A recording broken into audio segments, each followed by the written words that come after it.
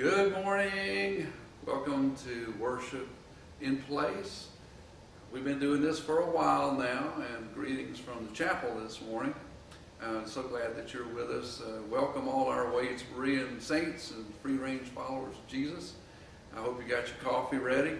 Uh, it's going to be a great morning where Marissa Phillips is going to teach our kids, and we're going to have Steve Ermchek's going to be doing our Sunday school this morning, and I have a surprise for you uh, for the message this morning.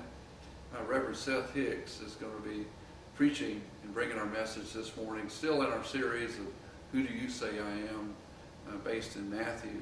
The interesting thing about Seth is he has served churches uh, of a variety of sizes. He grew up in the church. His dad was a minister of music, and then he himself was a minister of music before God's calling came on his life to uh, be a minister of the Word and Sacrament. And he has grown up in churches like First Baptist Church Wadesboro. It was a county seat town.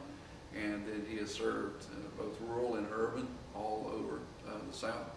But uh, I want to introduce you to our friend, and I hope you enjoyed that this morning. And just continue to stay tuned for our preparations for uh, worship at our place that we're still targeting for June 28th. And we're so thankful that you're here. And so get ready.